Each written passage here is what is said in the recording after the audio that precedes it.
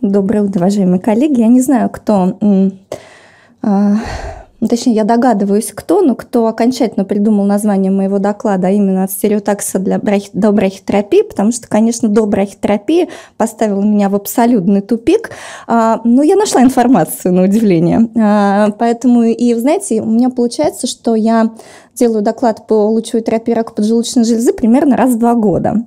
А, и практически ничего не меняется.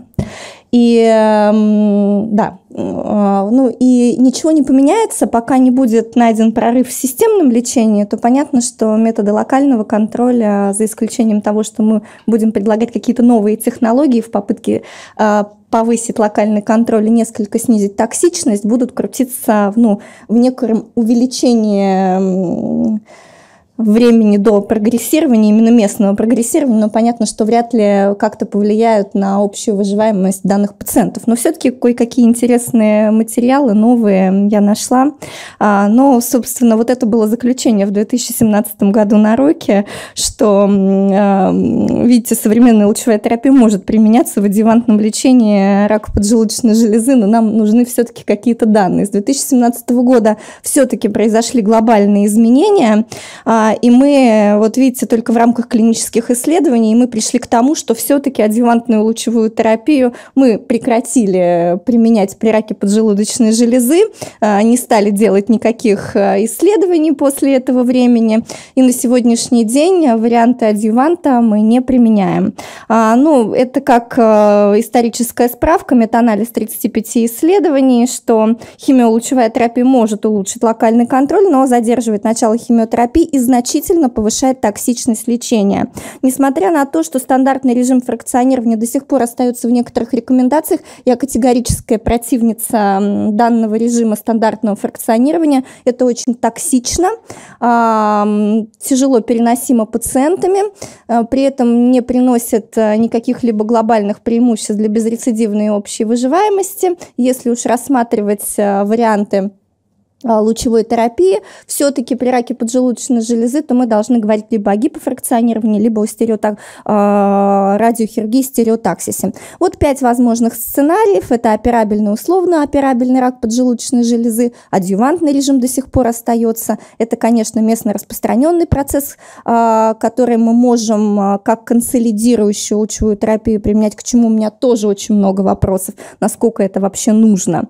Глобальные есть ответы на вопросы, вопросы, что да, паллиативный режим это совершенно точно, мы отвечаем да, потому что это прекрасный метод борьбы с болевым синдромом, а, где мы действительно крайне эффективны и очень полезны. Ну и можно рассматривать рецидивный вариант течения болезни именно на рецидивную опухоль, что если пациент дожил до местного рецидива и не запрогрессировал, то вот тут мы тоже можем предложить метод локального контроля, а, ну и еще подождать, не запрогрессирует ли пациент, поскольку все пациенты, увы, умирают основная масса от отдаленных проявлений болезни.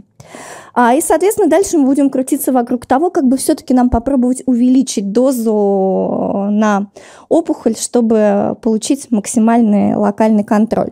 И на самом деле сейчас очень много работ китайских коллег и касаемо поджелудочной железы, и касаемо брахитерапии, и касаемо даже адъювантной стереотоксической лучевой терапии при раке поджелудочной железы. Посмотрите исследование второй фазы, перспективное рандомизированное одноцентровое исследование. А, и здесь э, проводят стереотоксическую лучевую терапию, адъювантный стереотаксис с последующей химиотерапией гемцитабином. И в результате этого делают выводы, что адъювантный стереотаксис не улучшает выживаемость, не улучшает локальный контроль. Но необходимо отметить, что лучевую терапию проводили очень невысокими дозами, а уже абсолютно понятно, что доза меньше 7,5 грей, что если вы не можете подвести пациенту 7,5 грей за фракцию, то лучше такую лучевую терапию вообще не проводить, поскольку она окажется максимально неэффективной эффективный.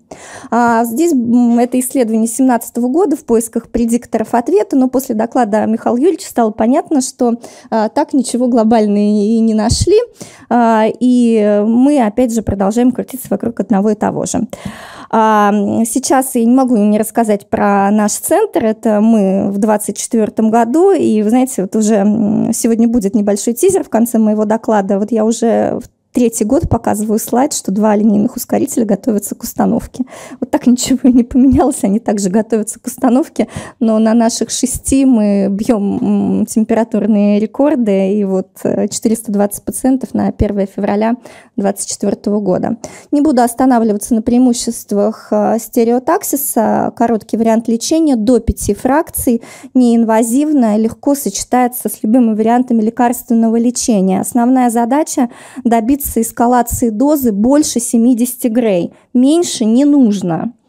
А, и, соответственно, это наш протокол а, подбора дозы. Это началось все примерно 10 лет назад. Сначала дозы были более аккуратные для стереотаксии, варьировали от 5 до 6 грей. Потом все-таки пришли однозначно а, к 7,5 грей за 5 фракций. Есть этому радиобиологическое обоснование.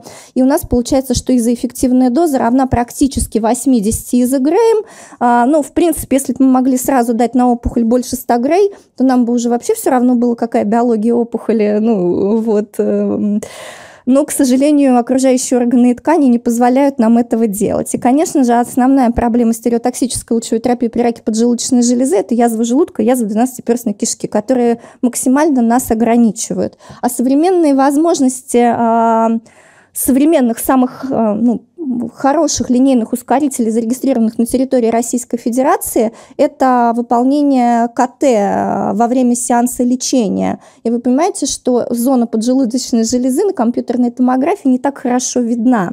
Наполнение желудка тоже очень сильно варьируется ну, в зависимости от э, даже незначительных факторов, даже вот, ну, даже если пациент правильно готовится, то от сеанса к сеансу могут получиться некоторые изменения укладки пациента. И поэтому получить язву желудка довольно легко, даже если ты сделал все правильно и хорошо.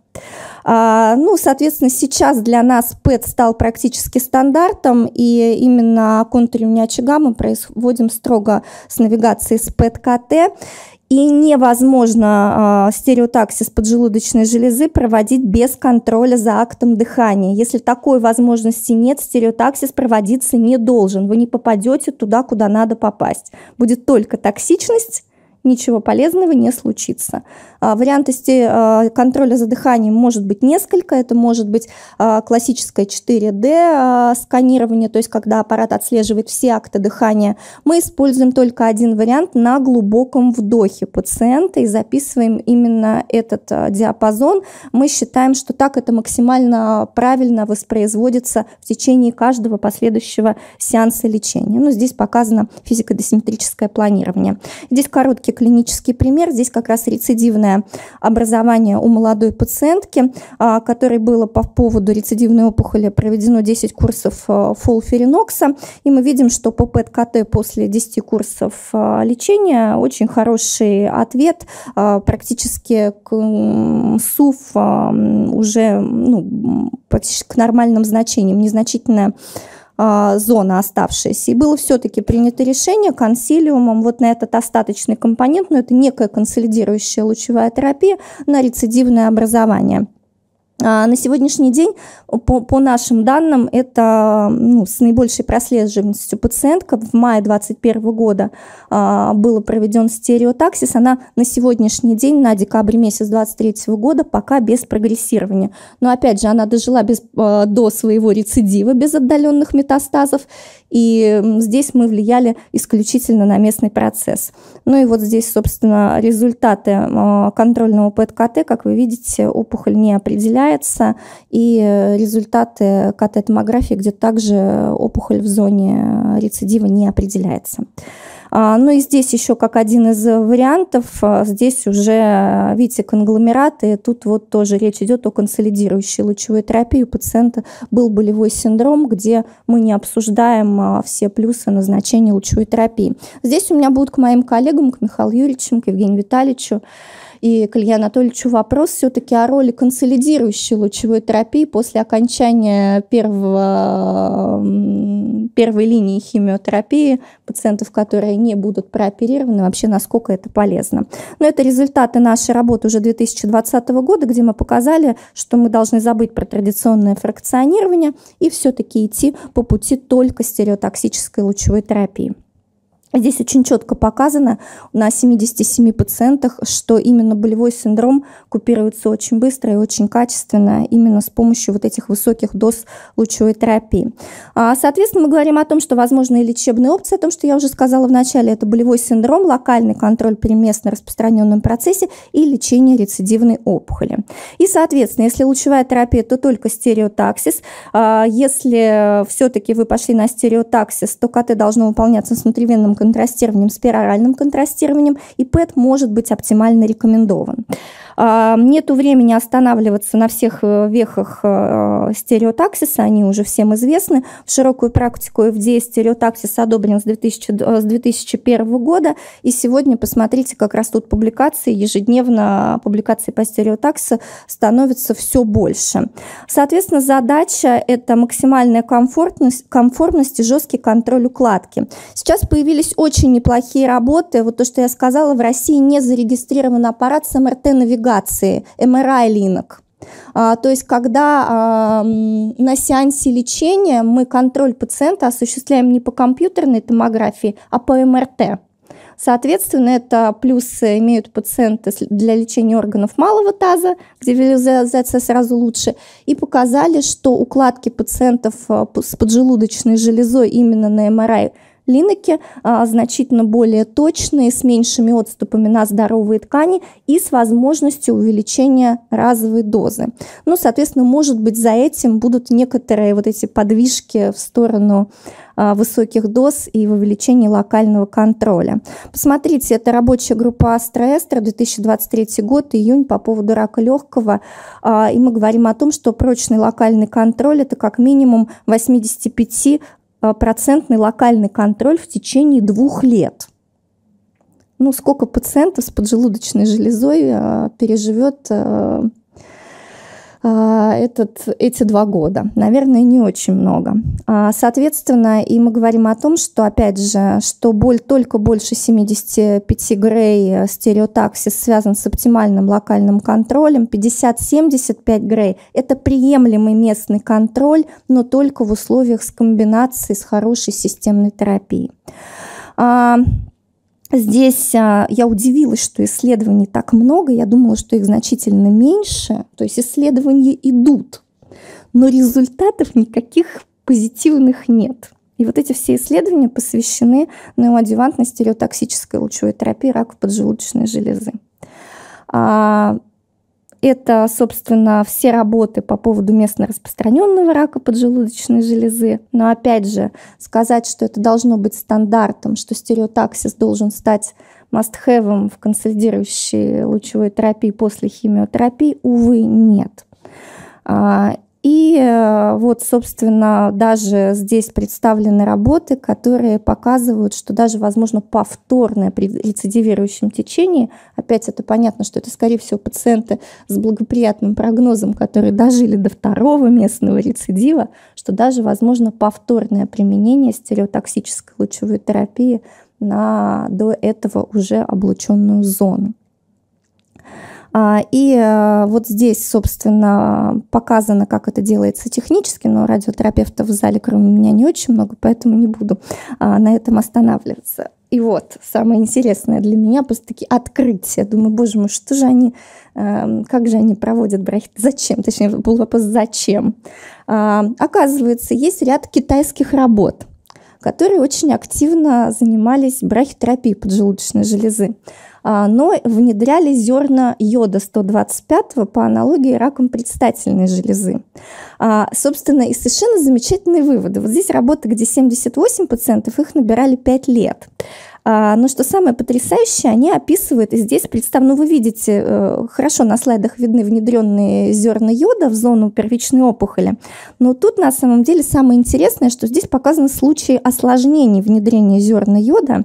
Это перфорации кишки, и инфаркт селезенки, поскольку зерна йода совершенно блестяще мигрируют и могут попадать даже в сосуды. А, на мой взгляд, и без того непростым пациентам раком поджелудочной железы которые получают системное лечение, проводить такое токсичное лечение, которое сопряжено с рисками перфорации кишки и инфарктом селезенки, ну, мне кажется, нецелесообразно. При этом результаты локального контроля, ну, примерно такие же плохие, как и при всем остальном. Ну, собственно, брахитерапия рака поджелудочной железы проводится. А, ну и вот коротко о новой концепции. Сейчас идут э, ряд публикаций, начались э, с 2000, примерно с 2020 года. То есть мы в лучевой терапии, э, то, что на слуху SIB, симультантный интегрированный boost, увеличение дозы в определенной точке с целью повышения локального контроля. А здесь противоположная история SIP, наоборот, уменьшение дозы в зоне органов риска. То есть подвести к опухоли поджелудочной железы большую дозу, больше, чем 7,5 грей, например, 8-8,5 грей, но при этом охладить желудок и 12-перстную кишку до дозы 6 грей за фракцию. Ну, 6 грей за фракцию – это то, где мы можем говорить, что язвы желудка и язвы 12-перстной кишки практически наверняка не будет. То есть желудок с кишкой вот именно дозу 6 грей выдержит. И сейчас все работы именно по поводу стереотаксиса нацелены именно на это, на увеличение локальной дозы в очаге с возможностью уменьшения дозы на критические структуры. И вот, э, соответственно, вот эта новая, это симультантная интегрированная защита, не, не, не boost, а именно защита с целью уменьшения токсичности. То есть желудок и 12-перстная кишка как бы вырезаются из высокой дозы лучевой терапии, э, минимизируя токсичность, и чтобы пациент мог дальше благополучно получать э, системное лечение. Вот, собственно, варианты этого SIP а, а, к которому мы на сегодняшний день а, приближаемся. И вот еще одна а, новая концепция. Ну, работа 2021 года, но она самая полная, с самым большим количеством пациентов. Опять же, аналогия с предстательной железой – это внедрение рассасывающего рентген-контрастного спейсера, геля при раке предстательной железы это уже стало стандартом для проведения стереотоксической лучевой терапии, высокодозной лучевой терапии. Но вот это начали делать и при поджелудочной железе. Внедряется гель в ту зону, которую нам надо отодвинуть. И опять же, тем самым увеличивается доза на первичной опухоли. Опять же, это, скорее всего, повлияет на локальный контроль, это увеличит а, процент полных ответов практически наверняка, но, увы, никак не повлияет а, на общую выживаемость этих пациентов. А, и вот работа 2021 года – это комбинация стереотаксиса с пембролизумабом и термитинибом. Ну, я, вот я не знаю, есть результаты уже этого исследования, Илья Анатольевич, Михаил Юрьевич, Евгений Витальевич? Я не нашла результатов, но, может быть, их еще и нет. А, соответственно, ну, может быть, тут мы получим какие-то плюсики, но тоже, если честно, пока мне кажется, что вряд ли. А, ну, собственно, что именно нас, конкретно наше отделение, останавливает от того, чтобы мы внедрили высокие дозы стереотакса больше 7,5 грей, это то, что это тизер того, что случится уже сегодня ночью. Но все-таки я, наверное, со следующей конференции перестану писать, что два ускорителя готовятся к установке. Сегодня ночью они должны доехать до онкоцентра наконец-то. И, знаете, поговорка, что обещанного три года ждут, практически полностью состоялась на нас. Ну и нам приезжает именно аппарат а, именно для стереотаксиса с вот с такими же усилиями, как показано на данных гифках. И, ну, соответственно, мы сможем увеличить э, дозу во время стереотаксиса и, быть может, попробовать как-то повлиять на судьбу данных пациентов. А, и это, собственно, наша статистика за последние два года. Рак поджелудочной железы 45 случаев. Разовая доза вся 7,5 грей. Меньшие дозы мы не используем.